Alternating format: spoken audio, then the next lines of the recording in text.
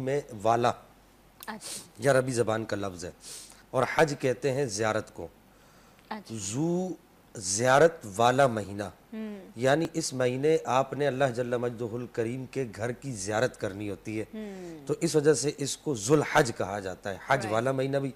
چونکہ حج عربی زبان کا لفظ ہے تو عام طور پر اس کا ترجمہ لوگ یہ کرتے ہیں کہ حج والا مہینہ۔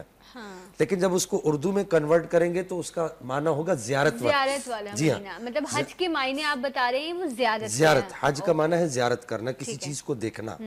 تو چونکہ اس مہینے میں اللہ تعالیٰ کے پاک گھر کی زیارت کی جاتی ہے نبی پاک صلی اللہ تعالیٰ علیہ وآلہ وسلم کے شہر اقدس کی زیارت کی جاتی ہے۔ اس وجہ سے اس کو زیارت کے ساتھ موسوم کیا جاتا ہے۔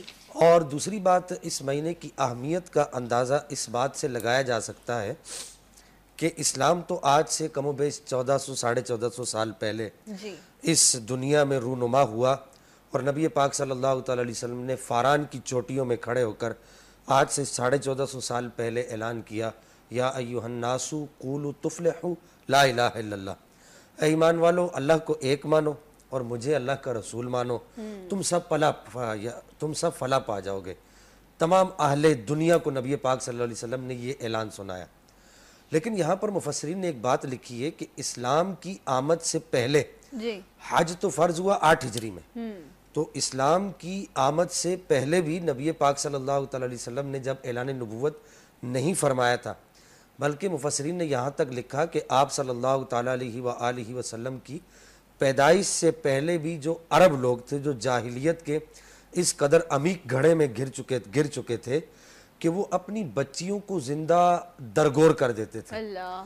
اور اسی طریقے سے دیگر ہر وہ کام جو ایک غیر اخلاقی معاشرے میں کہلاتا ہے کام وہ کام وہ لوگ کیا کرتے تھے۔ لیکن ذوالحج میں وہ تمام برے کام وہ جاہلیت کے دور کے لوگ بھی چھوڑ دیا کرتے تھے۔ اور اس کے احترام میں۔ جی ہاں اس کی وجہ یہ تھی یہ میں عرض کرتا ہوں اس کی وجہ کیا ہے۔ اس کے ساتھ ساتھ یہ لوگ سارا سال جنگ و جدال میں رہتے تھے۔ جنگ تو کہتے ہیں جنگ کا معنی تو عام جدال کہتے ہیں جھگڑے میں رہتے تھے۔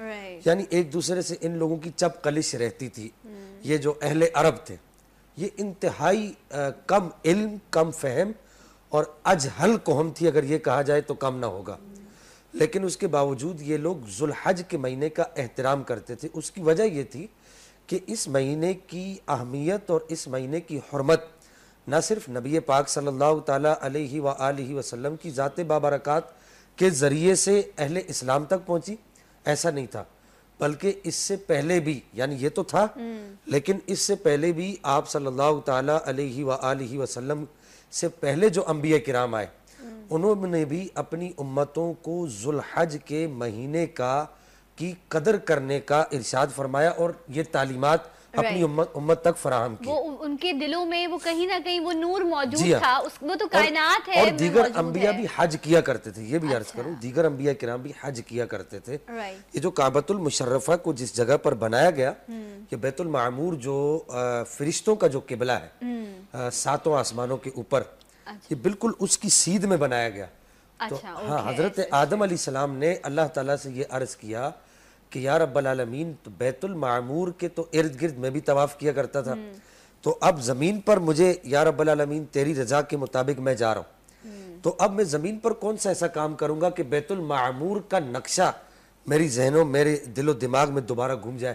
تو اللہ تعالیٰ نے حضرت آدم علیہ السلام کو کعبۃ المشرفہ کی تعمیر کا ارشاد فرمایا۔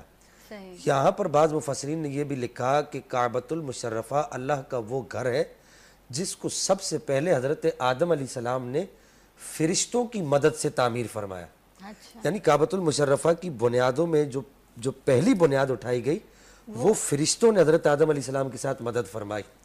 اچھا یہاں پر ایک بات میں اور عرض عرض کر دوں ذوالحج کے مہینے کی حرمت اور ذوالحج کے مہینے کی اہمیت کے حوالے سے نبی کریم صلی اللہ تعالیٰ علیہ وسلم نے اس مہینے کو جہاں رمضان المبارک کو اہمیت دی آپ صلی اللہ تعالیٰ علیہ وسلم نے بہت اہمیت عطا فرمائی حرمت والا مہینہ حرمت والا مہینہ ارشاد فرمایا اور پھر اس کے بعد آپ صلی اللہ تعالیٰ علیہ وسلم نے رمضان کو شرف بھی بخشا۔ جی۔ یعنی اسے بزرگی والا مہینہ بھی قرار دیا۔ اس کے بعد آپ صلی اللہ تعالیٰ علیہ وسلم نے جس کا نمبر جس مہینے کا دوسرا نمبر رکھا وہ ذوالحج کا مہینہ ہے۔ نبی پاک صلی اللہ تعالیٰ علیہ وسلم ارشاد فرماتے ہیں حدیث کا خلاصہ ہے کہ آپ صلی اللہ تعالیٰ علیہ وسلم نے ارشاد فرمایا کہ تمہارے پاس اللہ تعالیٰ کے مہینوں میں سے ایک اہم ترین مہینہ آنے والا ہے؟ تم سے جس قدر جلد ہو سکے اور جس سے جتنا ہو سکے اس مہینے میں اللہ تعالیٰ کی عبادت میں مگن ہو جاؤ۔ Right. یہاں تک کہ نبی کریم صلی اللہ تعالیٰ علیہ وسلم خود اس مہینے میں بنفس نفیس روزے رکھا کرتے تھے۔ اچھا۔ سوائے دس گیارہ بارہ ان تین دنوں کے۔